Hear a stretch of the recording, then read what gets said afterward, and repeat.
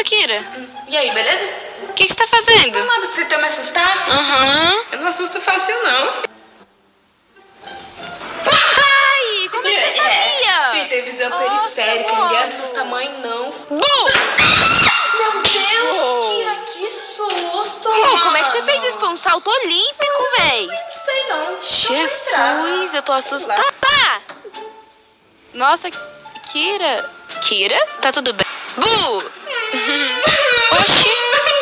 Mas eu, eu nem tentei te assustar, não foi nenhum susto. Meu Deus, o que que aconteceu? Gente, o que que tá acontecendo? Ah! Nossa! Eita!